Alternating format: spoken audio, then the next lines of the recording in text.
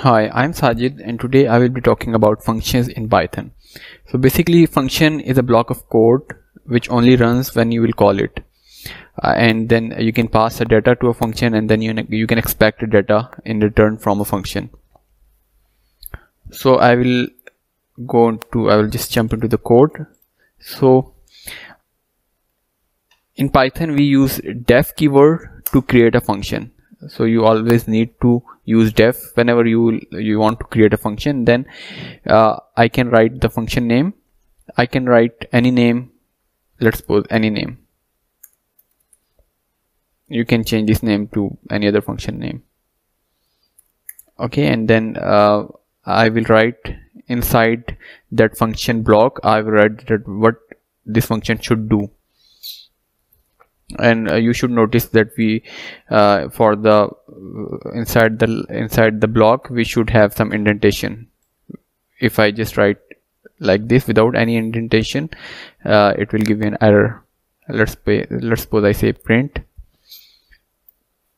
My name is Sajid. If I run this code it will give me an error because it's saying that expected an indented indent, indented block sorry. So I have to provide some indent here indentation here. So I will press tab and if I enter now my function is this function is created and function name is any name right? And now I will show you that how you can call a function because now this function is generated but we have to call this function if you want to, to execute this function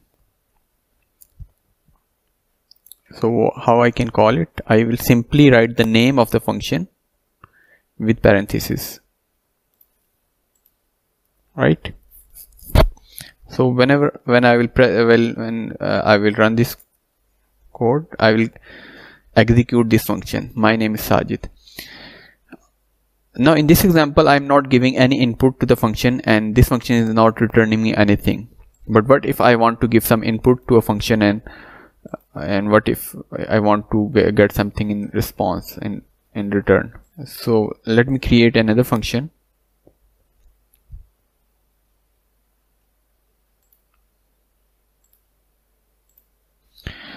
Uh, let me create def my sum. So this function will sum the numbers. So let's suppose the numbers are x1 and x2 so these x1 and x2 are the arguments. So we can add any number of arguments here. Uh, so the, we can add any number of arguments by just putting a comma between them.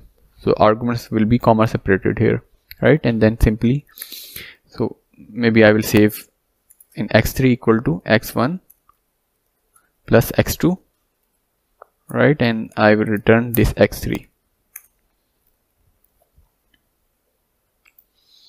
so here I will just mentioning that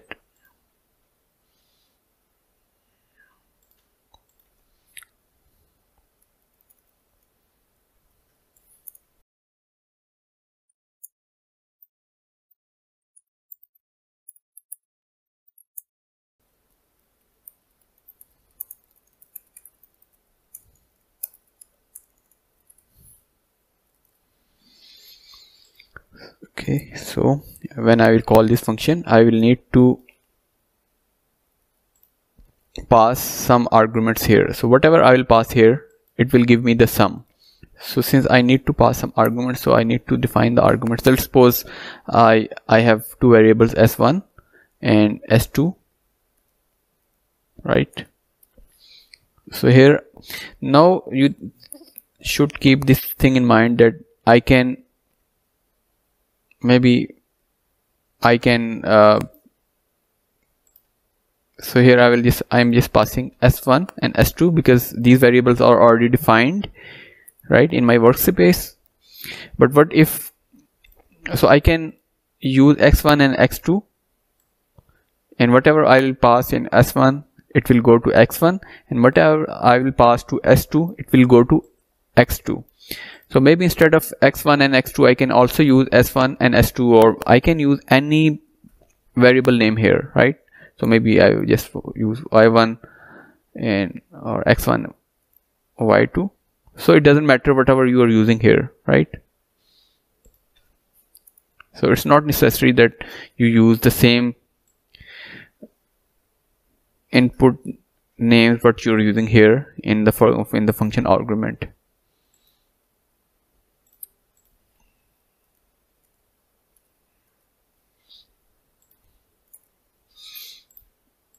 so whenever I will run this code it should give me the since I need to save uh, so I can also save the result in my some new variable my result maybe my result equal to. So now the sum will be saved in my my result my underscore result. So this is how we passed an arguments to a function and this is how we got how we, this is how we get the return value. Now there can be scenarios in which you want to pass the arguments but you don't want any return value. Right? So let me give an uh, example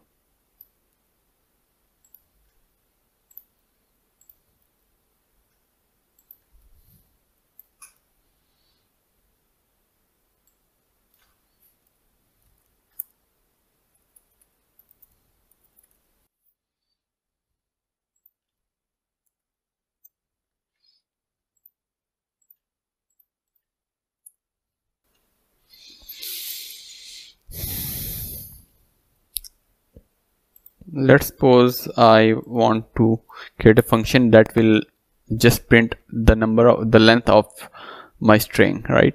Def uh, get len maybe string st1 or my string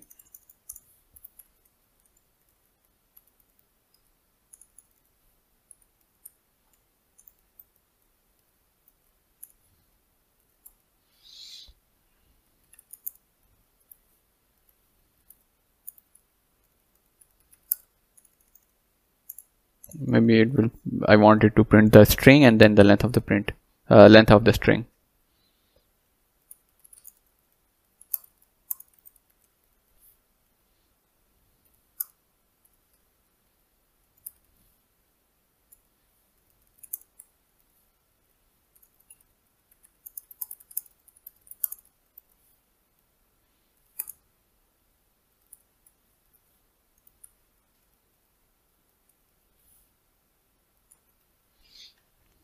now if I want to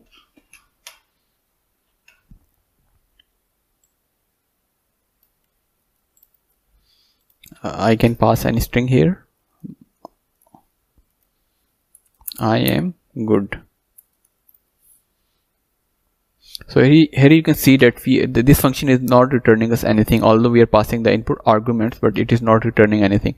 And one more thing you need to notice here that I am not declaring any string in advance. I am just putting the string value here inside that uh, when when I am calling the function.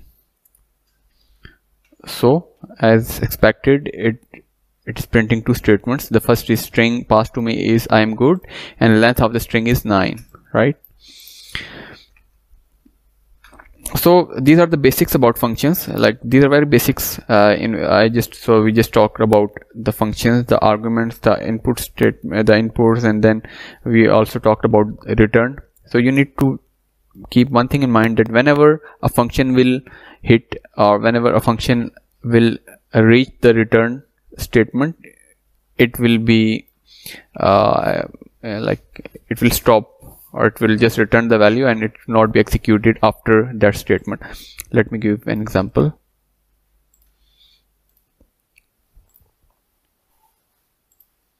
Let's say we have a function my sum okay and I after whatever I will write after this return it, it will not be executed.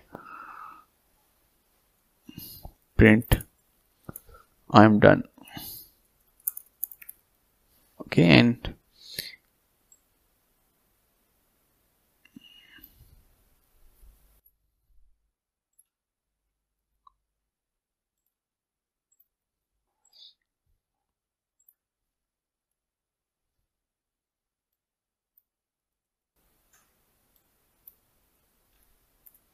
so these variables s1 and s2 I have already declared uh, in above code right? Here. And when I'm passing I will pass this to this function my sum. Let me show you how what it will do. Let me change the name of the function my sum one. Right.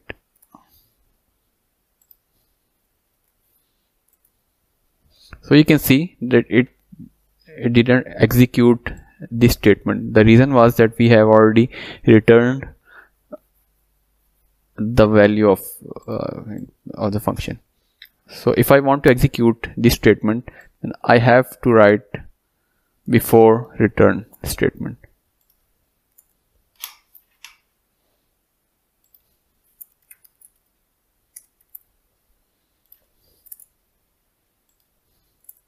So you can see that print was done and then it returned me 44 so this is, is uh, all about the basics. Uh, if you want to go into more details you can also go into uh, you can also go to this link or uh, then there are different other things uh, like instead of return there is another term uses yield.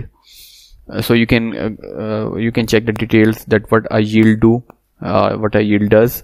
And then there are different other methods to call a function maybe using map or maybe using uh, lambda, lambda there are some other kind of functions. So I think that's all for the basics of function. I hope to, that you understood the very basic uh, tutorial about the functions. Thank you for time. Bye